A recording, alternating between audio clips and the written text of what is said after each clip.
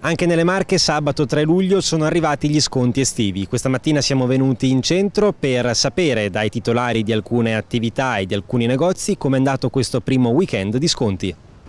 Abbiamo, abbiamo, avuto un buon incremento sia a Pesaro che a Ancona perché abbiamo due store sia Ancona che a Pesaro e i saldi stanno andando molto molto bene e la gente richiede molto gli abiti per le cerimonie perché sono iniziate anche le cerimonie. Noi stiamo facendo un 50% su quasi tutta la merce e qualcosa anche 30 e 20. Noi stiamo andando bene anche perché Pesaro e stiamo lavorando benissimo con il turista che è tornato a Pesaro e soprattutto abbiamo anche il giovedì sera che siamo aperti anche per fare il serale. È andato molto bene, sabato molto molto bene, poi domenica uguale e un po' meno il pomeriggio, poi anche il tempo non è stato dei migliori, però è andata molto molto bene. Che tipo di scontistica avete applicato?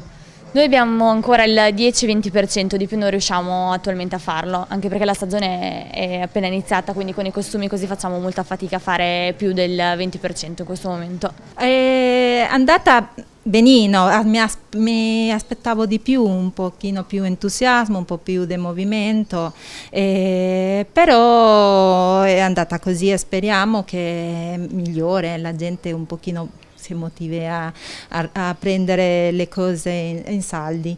E noi siamo partiti con il 20-30 e abbiamo anche dell'articolo del 50%. E è stato richiesto molto le borse da mare e costumi e beh, per il prossimo giorno penso anche un po' qualcosa eh, sul sull'avvillamento, così.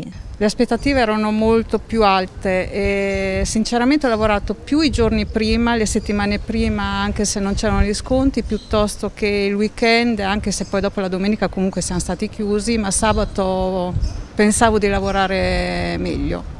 E vediamo un attimo anche perché comunque durante il weekend eh, la gente va al mare, ne approfitta comunque per stare al mare, quindi forse durante la settimana si lavora meglio, non lo so, bisogna che vediamo e aspettiamo.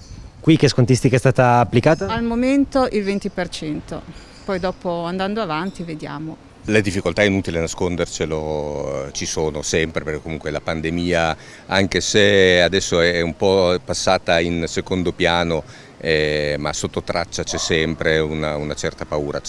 Eh, però le aspettative in ogni caso sono abbastanza sono alte, i saldi estivi hanno la coda lunga, eh, a differenza di quelli invernali ehm, che si eh, svolgono dove, dove c'è il grande boom nelle prime due settimane, i saldi estivi arrivano anche fin verso la fine di agosto, quindi è un incremento lavorativo che c'è sempre giornalmente tutti, tutti i giorni eh, che arrivano fino a fine agosto con il, il giro dei, dei, dei, turisti. Evitiamo un attimo se possiamo per una volta di andare a comprare senza fare i nomi e cognomi ma già, sappiamo già di chi stiamo parlando contro le multinazionali dell'online che sono quelle che stanno distruggendo il tessuto socio-economico nostro italiano.